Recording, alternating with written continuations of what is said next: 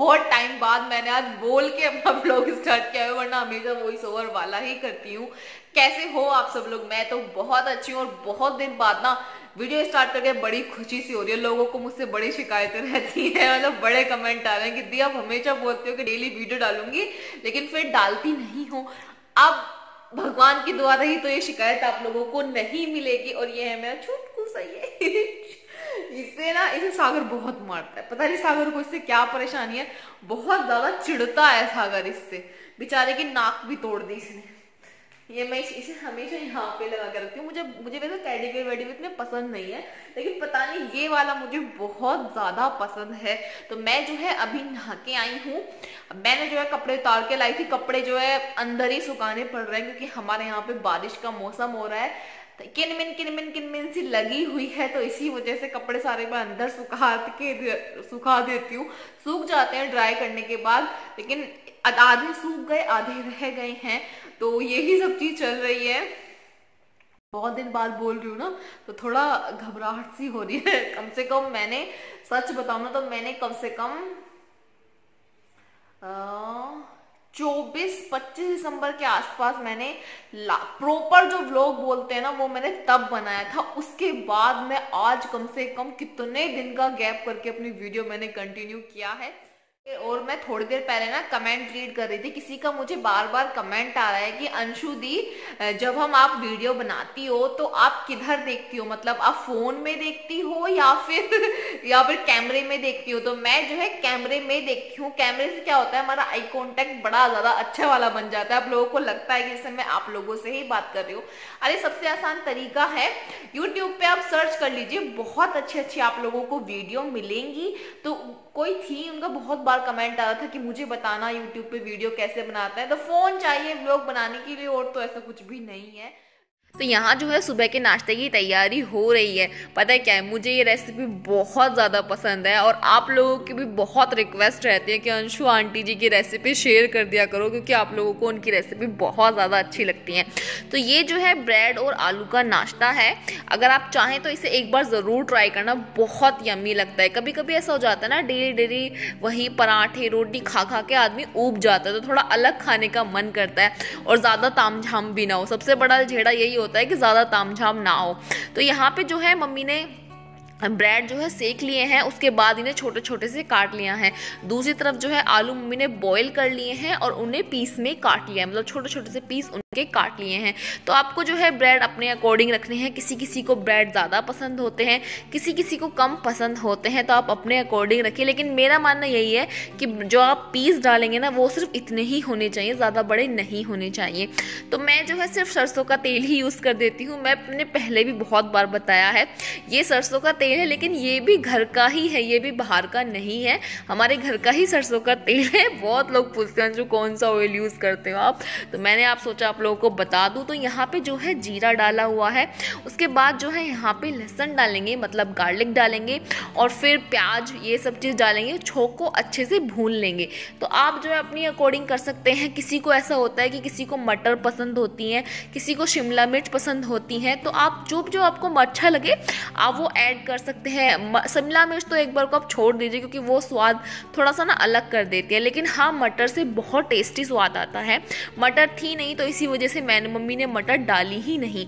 अगर आपके पास हो तो मटर भी ज़रूर डाल लेना। जब आप अपने आलू बॉईल करेंगे ना, तभी उसमें मटर डाल लेना तो आपकी मटर भी बॉईल हो जाएँगी। तो यहाँ पे जो है हरी मिर्च डाल दी है, टमाटर डाल दिए क्योंकि मुझे थोड़ा स्पाइसी खाना पसंद है। मेरे घर में सबको स्पाइसी खाना थोड़ा ज़्यादा ही पसंद है। तो क्या हुआ था, यहाँ पे एक पार्ट था जो शायद मिस हो गया, वो मैं आप लोगों को नहीं दिखा पाई। तो यहाँ पे जो है मम्मी मसाले डाल रही हैं, हल्दी डाल रही हैं, धनिया डाल दी रही हैं, और काली मिर्च भी डाली थी मम्मी ने हल्की सी, और चाट मसाला डाला था। वो जो पार्ट मिस हो गया है, वो ये वाला था कि मम्मी ने इसमें जो है थोड़ा सॉस डाली थी टमाटो सॉस डाली थी और थोड़ा विनेगर डाला था। वो वाला पार्ट इसमें थोड़ा मिस हो गया तो आप लोग उसे ज़रूर डालें आपका टेस्ट बहुत ज़्यादा टेस्टी लगेगा। थोड़ा चेंज हो जाता है टेस्ट तो इसमें जो है, मम्मी ने आलू डाल दिए हैं और उसके बाद अपना जो ब्रेड थे, वो डाल दिए हैं। इसे ना गरम गरम ही खाएँ, क्योंकि गरम गरम ज़्यादा टेस्टी लगता है। तो हरा धनिया इसमें डाल दिया है। इसे अच्छे से मिक्स कर लेंगे। और बहुत सारे लोग ऐसे होते हैं, जिन्हें हरा धनिया इसे कच्चा कच्चा अच्छा नहीं लगता। तो दो सेकेंड के लिए इसे ढक के रख लीजिए, वो भी ठीक हो जाएगा। तो आप लोग खुद देख लीजिए, इसका कितना प्यारा कलर आया है, बहुत यमी बनी है और आप लोग भी ट्राई करना और मुझे भी बताना।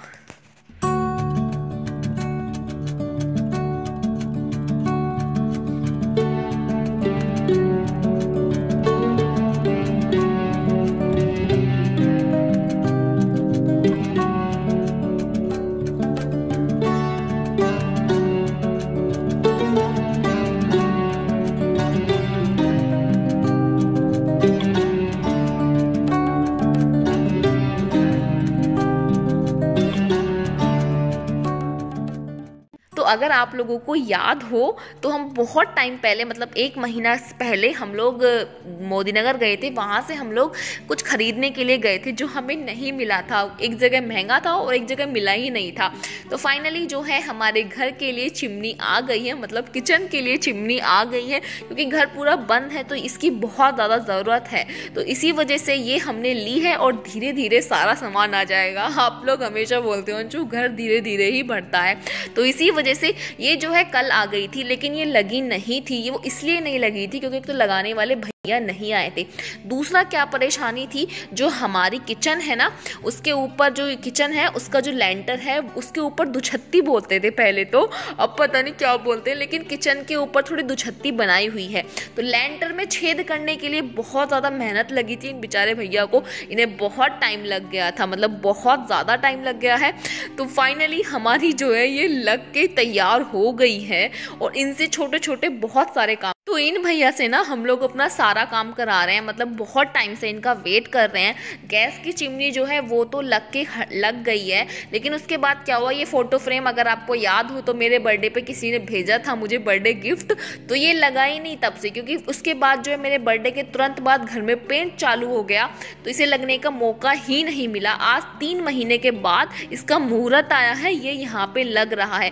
पहली बार ऐसा हुआ था कि मैं ट्यूबलाइट निकालने के लिए गई थी जब मेरी मौसी आई थी तो मैंने वो तोड़ दी थी। तो ये भैया उसे भी ठीक कर रहा है, क्योंकि आज तक मैंने कभी बल्ब वल्ब लगाए नहीं है तो मुझे आते नहीं है। वो मैंने कुछ इस तरीके से करा कि वो टूट ही गई तो पापा उसे ही ठीक करवा रहे थे यहाँ पे। तो ये यहाँ पे लग चुका है, काफ़ी ज़्यादा प्यारा लग रहा था। और आप लोगों को अगर याद हो तो कुछ दिन पहले मैं तीन पेंटिंग खरीद के लेके आई थी। तो मैंने आप लोगों को दिखाया भी था कि दो पेंटिंग जो है गिफ्ट देने के लिए हैं, और तीसरी पेंटिंग मैं अपने घर के लिए लेके आई थी। तो ये जो है एक पेंटिंग यहाँ पे लगा दी है। काफ़ी ज़्यादा अच्छी लग रही थी। थोड़ा थोड़ा सा काम कर रहे थे और ये एक पेंटिंग मैं साफ़ कर रही हूँ। ये जो है पहले लगी हुई थी मतलब जब पेंट नहीं हुआ था तो इस पर जो है पेंट के थोड़े से निशान आ गए थे। तो मैं इसे भी जो है साफ़ कर रही थी, जिससे इनसे अभी लगवा दूँ। एक बहुत बड़ी पेंटिंग है। शायद आप लोगों ने मेरे रूम में देखी भी होगी। ऐसी मैं कुछ टाइम पहले वाइट कलर की लेके आई थी। उसमें वाइट कलर के घोड़े बने हुए थे। उसका सारा कंच टूट गया। पता नहीं कैसे टूट गया। तो वो भी ठीक करवाने के लिए लेके जानी है। तो आज सारा काम इनसे करवा ही दिया हमने। बहुत टाइम लगा।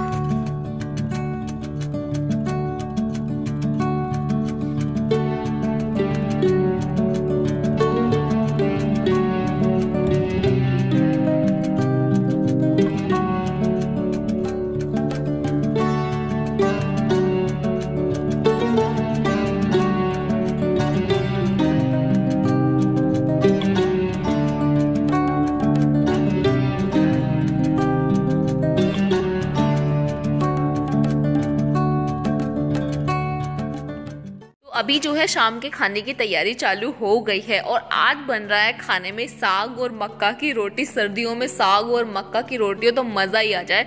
तो वही बन रहे हैं, मुझे वैसे कम पसंद आते हैं सब चीज़ें, लेकिन मक्का की रोटी के साथ मुझे अच्छे लगने लगते हैं। तो अगर आप बोलोगे तो मैं इसकी रेसिपी भी आप लोगों के साथ जल्दी शेयर करूँगी तो मुझे कमेंट करके ज़रूर बता दिया करो कि मुझे किस चीज़ की रेसिपी आप लोगों के साथ शेयर करनी है। तो अब मैं इस वीडियो का यहीं एंड करती हूँ। मिलती हूँ अपने नेक्स्ट वीडियो में। अगर वीडियो अच्छी लगी हो तो लाइक कर देना। देना, चैनल को सब्सक्राइब कर देना। Bye good night take care और आजकल आप लोग वीडियो को लाइक बिल्कुल भी नहीं कर रहे हो और ना ही कमेंट कर रहे हो। तो ज़रूर बता दिया करो, वीडियो कैसी लगती है आपको। Bye good night take care